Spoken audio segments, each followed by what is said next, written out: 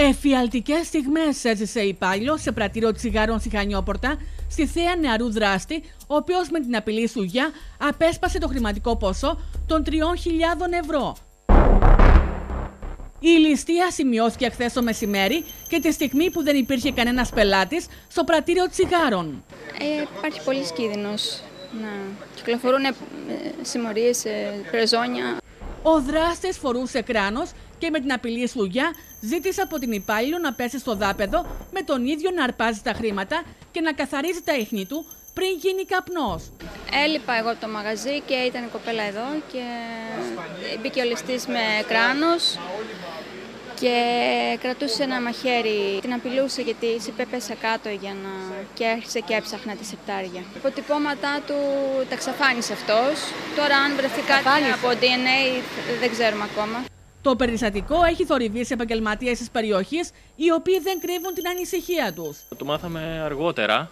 Ακούστηκε γιατί ήρθε κάποιος γείτονας και μας ενημέρωσε ότι έγινε ληστεία και ήθελαν να δει τις κάμερες και όλα αυτά. Αλλιώς δεν το είχαμε καταλάβει καθόλου. Ναι, η αλήθεια είναι ότι όλοι ανησυχούμε, δηλαδή δεν ξέρεις τι μπορεί να κάνει ο άλλος. Και πάνω στο, στο όλο τέτοιο, όταν είναι ανήσυχος ή οτιδήποτε και φοβάται και αυτός και τέτοιο, δεν ξέρεις τι μπορεί να κάνει. Μπορεί να μαχαιρώσει, δηλαδή μπορεί να φωνάξεις ληστεία κάτι και να μαχαιρώσει κάποιον βγαίνοντας. Ναι, είναι επικίνδυνο όλο αυτό. Τώρα, εντάξει, η περιοχή είναι τώρα κεντρικά, δηλαδή να φοβόμαστε τώρα στο κέντρο. Εγώ με 35 χρόνια εδώ σε αυτό το μαγαζί κάνω.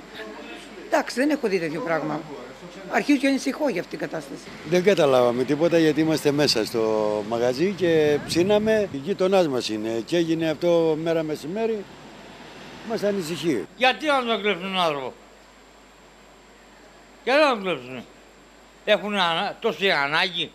Δουλειές υπάρχουν στην οικοδομή, γιατί δεν πάνε; Εγώ είμαι 56 χρονών και πάω στην οικοδομή και δουλεύω. Η ληστεία διήρκησε περίπου 10 λεπτά με την έντρομη υπάλληλο να ενημερώνει την ιδιοκτήτρια, ενώ κανείς στη γειτονιά, έμποροι και θαμώνες καφενείων, δεν αντιλήφθηκαν το παραμικρό. Μαύρα ρούχα παλιά φορούσε, γύρω στα 35 με 40 πρέπει να ήταν. Είχε μπάσα φωνή, δεν ήταν ξένος πάντως. Έφυγε με ένα μηχανάκι, ήταν. Αλλά ήταν, δεν φαίνονταν ο αριθμός του. Αθήνα, Θεσσαλονίκη, Ηράκλειο, παντού γίνονται τα ίδια. Μέρα μεσημέρι χτυπάνε ό,τι βρούνε. Για μένα είναι ανεγκέφαλοι. Γιατί, όπως ο πεις ο κύριος, γιατί δεν πάνε στη δουλειά. Δουλειές υπάρχουν, αλλά δεν θέλουν να δουλέψουν. Έτσι. Απλώς είναι οι πιο πολλοί είναι για τη δόση τους. Εγώ αυτό πιστεύω.